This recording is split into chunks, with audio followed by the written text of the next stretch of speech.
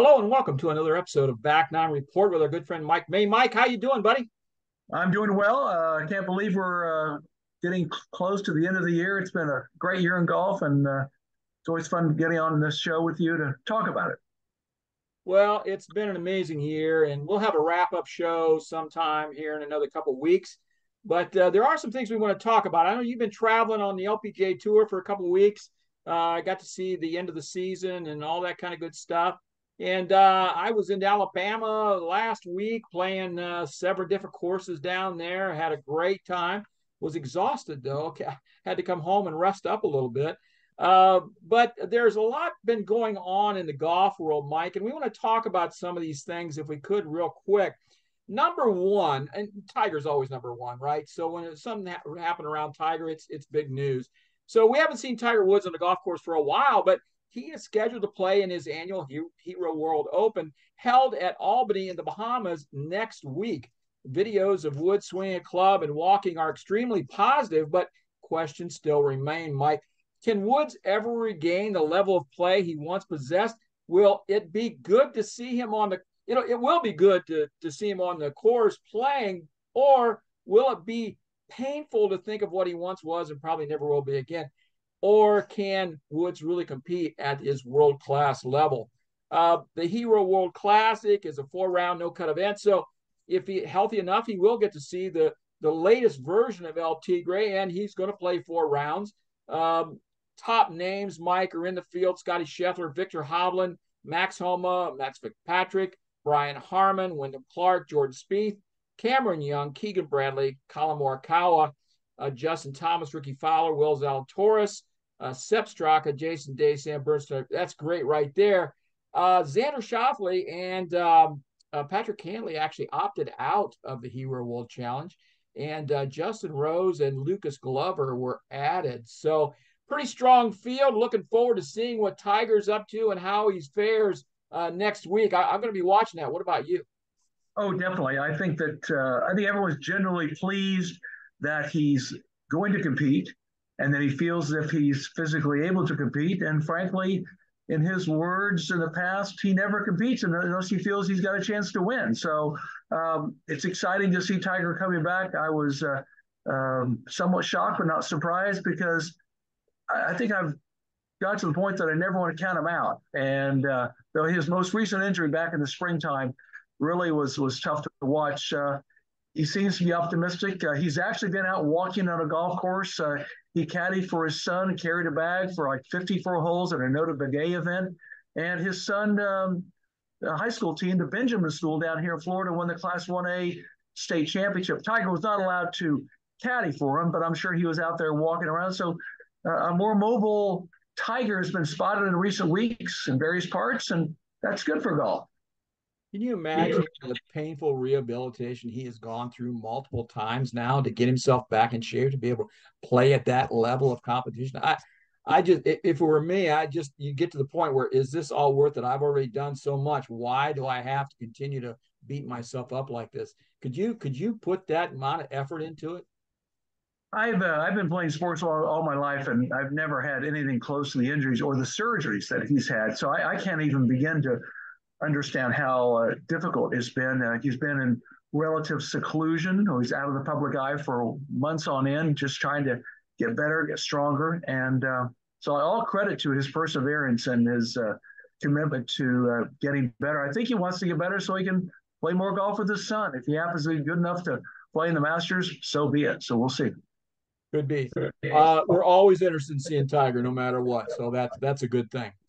Number two on the list, um, this is kind of a surprise. You know, they've been adding names and adding players to the new Arena Golf uh, League that Tiger Woods and Rory McIlroy have invested in through their uh, investment company, uh, Tomorrow TMRW. Uh, the roof fell in. Uh, they're building it down there in Palm Beach on the Palm Beach uh, College campus, the SoFi Arena and uh, the construction somehow the power went out and it let the the air the, the dome is held up by air and that let that fall in and it damaged a bunch of stuff and so now they've basically canceled the season for 2024 and said it's going to be 2025 uh, before they'll even start that up. Um, if you're not familiar with the Indoor Golf League, uh, Rory and Tiger, along with uh, their investment company, are attempting to start an arena type golf league with the top names in golf. Several of the biggest names have signed on, along with team owners and sponsors.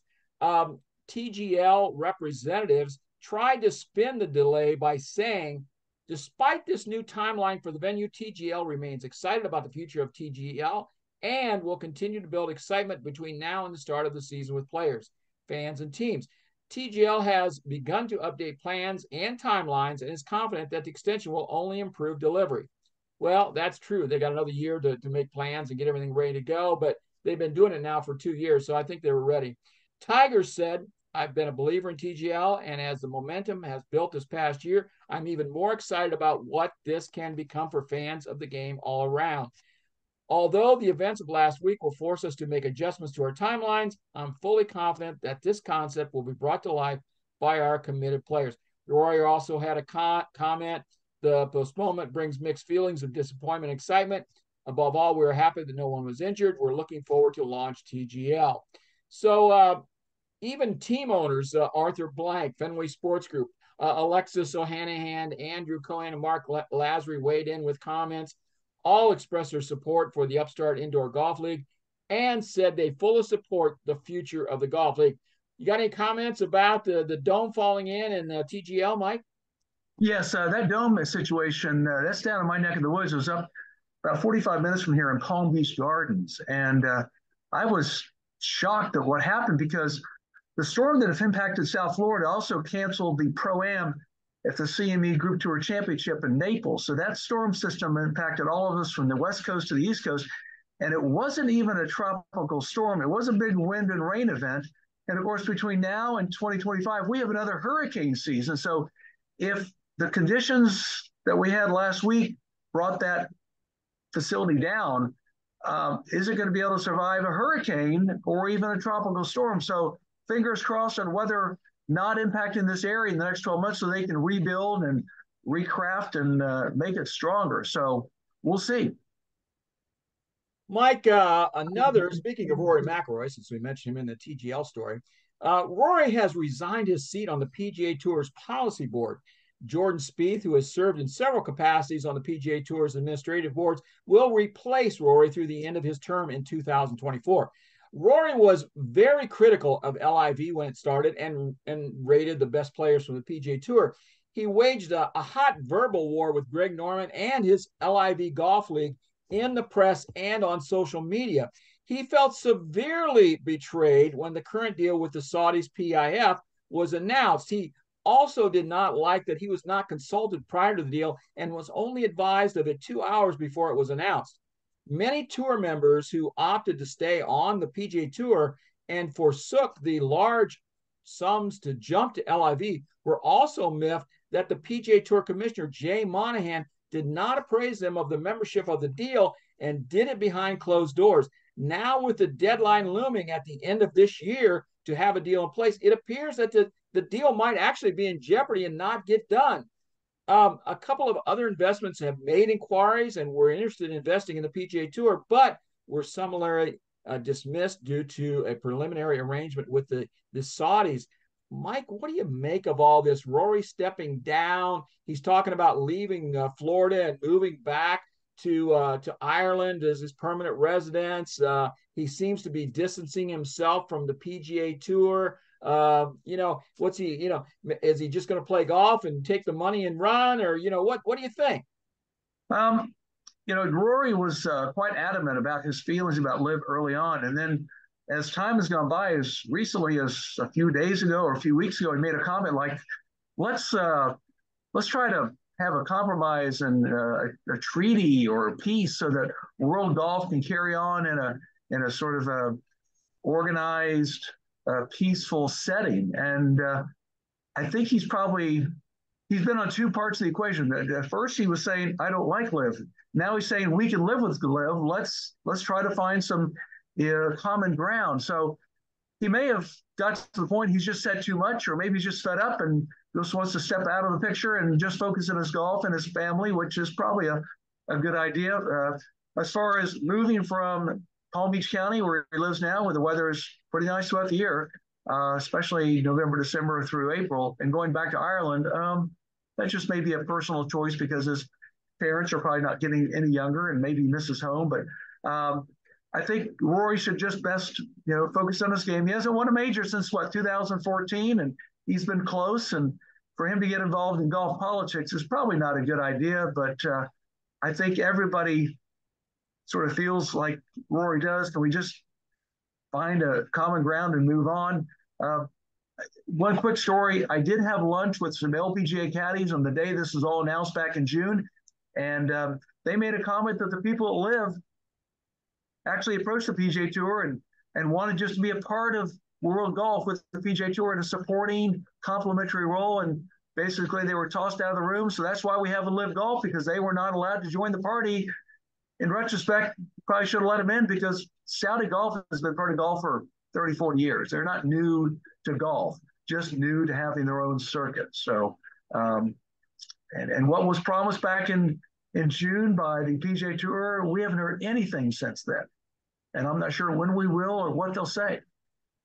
Yeah, and time is growing nigh. Uh, it, the, the deadline on the agreement with the PIF with the Saudis is uh, the end of the year. Now they could extend that, Mike, uh, continue to negotiate if they feel they're close to get get to everything, all the ducks in a row. Um, and and my question has always been, well, what happens to LIV? Uh, you know, uh, if I'm an LIV player, I can't get world ranking points, especially since the OWGR, the official world golf ranking uh, group, just denied giving world ranking points to the LIV. If I can't get world ranking points on the LIV, when my contract's up, I got to get out of there and get back to the PGA Tour so I can get back to playing in the majors. So um, it, there's a lot of stuff still involved in this, up in the air. We've been talking about it now, I think, for over two years. Um, I'm really kind of tired of it myself. I wish they'd get something done, and let's let's get on with the the world. What do you think? I, I think you're right. Uh, those players like Dustin Johnson and Brooks Koepka and DeChambeau and Talor Gooch and uh, Cameron Smith, they're really existing in obscurity. They're making big money, but they're totally off the radar screen. Rarely, um, people have to go out of the way to watch uh, the CW coverage, and not every newspaper gives uh, gives coverage to um, unless it's an AP report and they have room in a newspaper. So, if you want to make big money and and exist in obscurity, then play LIV, Unless we get some type of uh, agreement. Um, as far as the world golf ranking points, I understand, but I don't understand. I think these players are deserving of something. Uh, surely there can be a, you know, some type of compromise on you get 75%, but I'm not privy to those details. But uh, golf continues to exist in a sort of a disjointed state, and that's not good for uh, the game or the sponsors or the fans. You know, Mike, even as a lifelong golf fan, and you and I, I mean, people like us, we live the game, right? We we we do enjoy it. We love it to its core. And since this LIV stuff, Mike, personally, I have just become disenchanted with the whole thing. I find myself not even able to watch tournaments. The fall tournaments were so watered down because there's no talent there. You, you know, you're, you're you're you're watching guys that are have not been able to make it, or you know, on the outskirts uh, of the you know of the tour. Um, and that's great for them. It's a wonderful opportunity. But I want to see the guys that that are really the that, that compete in the majors that that you know are the world class players. And after the Ryder Cup, now we just don't see those guys. Um, it, I don't I don't like this fall tour at all. I'm not I'm not into it. Um, I don't know. It's it's just me, I guess. But I, I wish I, I can't wait till they get something settled for sure, and and we can move on. Hey, Mike, let's uh, let's let's uh, let's switch gears here a little bit. You have uh, traveled the LPGA Tour all year. Have been very close to the players in action. Uh, what is your take? Of course, they just wrapped up the season. They had all the awards uh, Lilia Vu, uh, Atthaya Thitikul, Angel Yin. Um, you had uh, uh, Hae Ran Ryu, uh, Jane Park, Megan Khang, uh, Lexi Top, all won awards at the end of the year for different things that they gave out. Give us a kind of a recap and what you saw and what you think uh, of the 23 at the end of the 23 uh, LPGA season. Well, anyone can win on any given week in the LPGA. At, um, and I know that's sort deep, of a cliche. They're, they're, very deep, aren't they? Very deep. Uh, it's a very global tour. Uh, we start out in the U.S. in January for a couple events, so we go to Asia in like February to uh, to Thailand and Singapore, and I think we're going to go back to Blue Bay, China, uh, in 2024. Then we come back to the U.S. for a long stretch. Then we head over to Europe for a few events in August, and come back to the U.S. and then go back to Asia, to Thailand, Singapore, China, and um, and South Korea. The players uh, we have Thailand, one of the top countries in the world for producing female golf, as well as South Korea. The Americans strong, Europeans are strong. Um, it is uh, a tour that uh, is uh, global in nature uh, and deep, and uh, the, the, players um, generally get along. Uh, they're very close to the fans, happy to pose for pictures and autographs. It's a very fan-friendly, competitive tour, and the it's fun to be out there. Of course, this in the year, we had Lilia Vu, Player of the Year, Boutier, Celine Boutier from France won four events. Allison Lee has come in second the last three times, so she's emerging. Uh, Lexi Thompson had a strong surge towards the end, but didn't make the top 60. Neither did Lydia Ko. So top names are not guaranteed to make the top 60 in CME.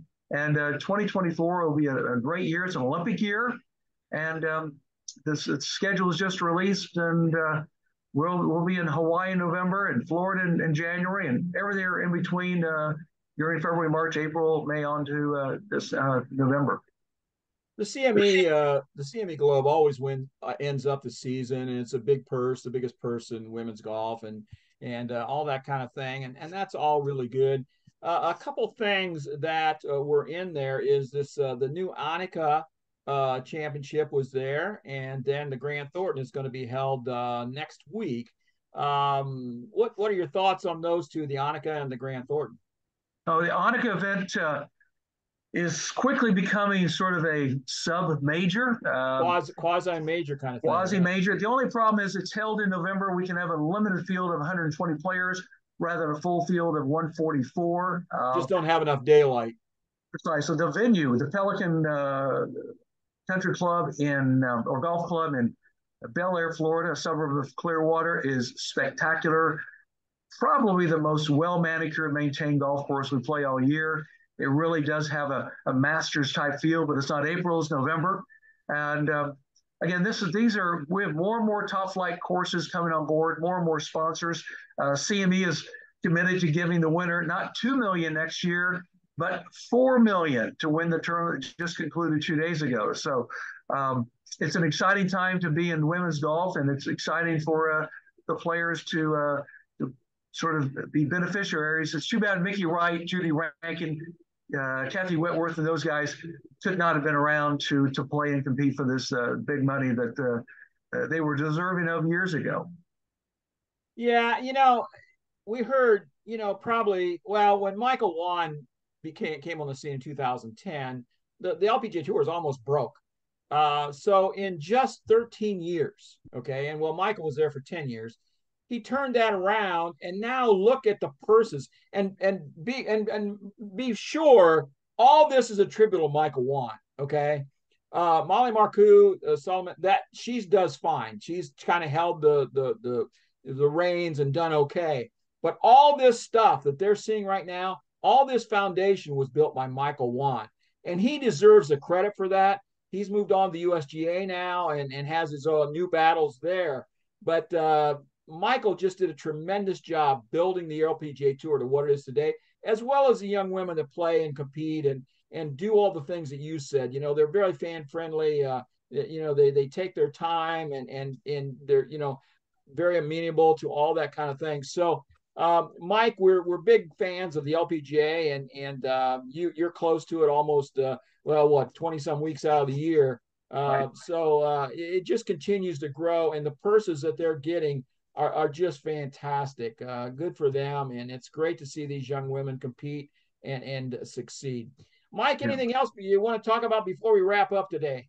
Yes, uh, just a quick thought on uh, the commissioner of the LPGA, Molly Marcoux Samaan. Uh, she's very visible at these golf tournaments. I see her all the time. Uh, they have a number of grassroots events they're doing. So she's finding her own niche, uh, well aware of what Michael Whan uh, did and what she inherited, and and she's adding her own uh, aspect to the to these tournaments and the sponsors. Uh, uh, you know, she's a former collegiate athletic director, so she's used to shaking hands and uh, making friends and creating new alliances and allegiances. And so I think the, the best days of the LPJ are in front of her, and I think Molly's doing a great job, and I'm sure she's um, got her work cut out for her. But uh, every day she's making an impact, and again, she's very visible, very fan friendly, and um, uh, just acts. Um, she's she's very comfortable out there, and I think people love to see her. Mike, I hope uh, listeners will log on to Ohio, Indiana, and Michigan golf journals. Check out our articles for uh, uh, November. We actually featured uh, Christmas gifts for golfaholics. So if you've got a golfer in your life, or if you are a golfer and looking for something to suggest to somebody for Christmas, check out our great lists in all three of our of our magazines. You've got a couple great articles in Indiana uh, about uh, local happenings there, and also about uh, uh the young pancake uh, woman uh, that had just a tremendous summer for an amateur, just a great year. And she's a name that we're going to want to watch going forward as she thinks about turning pro one of these days. Yes, it's um, we try to document as much as we can in those three states, um, and so it's uh, our, our, best issues are yet to come. We're pretty proud of what we've done, and uh, uh, December, January, February should be spectacular as as uh, we always aim they should be. Mike, thanks a lot for coming on and covering these topics with us today, and look forward to seeing you here in a few weeks, maybe. Yes, sir. All right, thanks, Mike. Thank you.